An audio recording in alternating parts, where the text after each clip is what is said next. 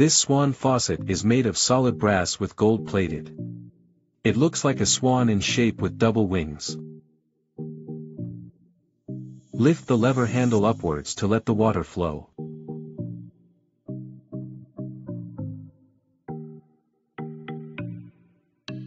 Turn left and wrong to switch hot water cold water. Different colors are available.